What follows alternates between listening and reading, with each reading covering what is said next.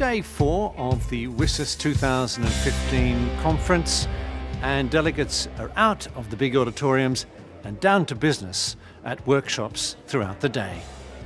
Workshops have been divided into three streams interactive, country workshops, and thematic. One of the first items on the agenda was just such a thematic session a high level dialogue on empowering women to innovate through technology. Presenting at the workshop was Helen Scherpman of the European Commission.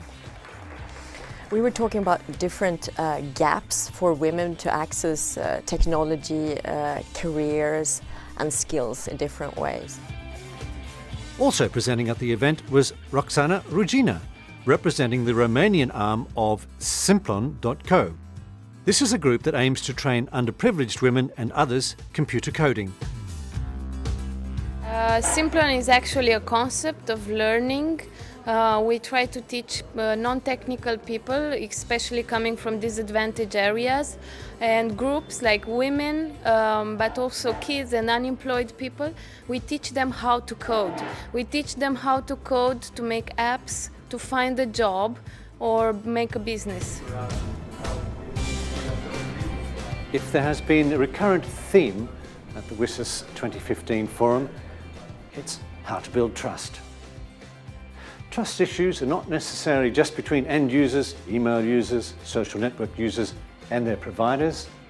It can be a question too for sovereign states. Um, we have five work streams. In this new world order, we mustn't forget the sovereign state. Uh, whatever we think of them, whether some of them we like them or not, we've got to remember that in what's known now, known now as the, the multi-stakeholder approach, that the state, governments of states, are vitally important in building global trust in cyberspace. Of course, the WSIS Forum is about more than just the sessions. Informal conversations and heads to heads are taking place all over the ITU, people sharing their ideas and their initiatives. You'd be surprised who you might see passing through. Father Paul Tighe is the envoy of the Holy See. The Holy See wanted to highlight the fact that the new technologies are an extraordinary blessing for humanity. They have the potential to enable us as a human race to work together, to express our solidarity and concern for one another, and as such, we rightly believe they should be celebrated.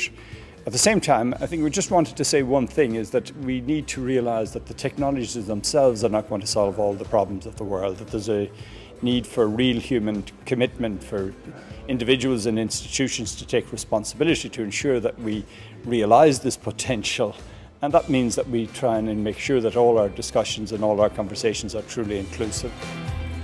Also, just on his way out of a workshop on e-business was startup entrepreneur Alexandre Berthaud.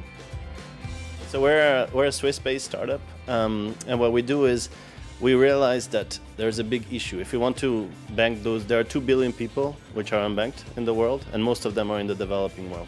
And we've realized that uh, so far we've tried to push, and when we say we, is the development world and the financial sector, we've tried to push individual-based um, financial services, be it loans or accounts. And this is the way it works in, in Europe. But in Africa, in Asia, in Latin America, it's actually a collective way of uh, savings. People save in group and people lend to each other in groups.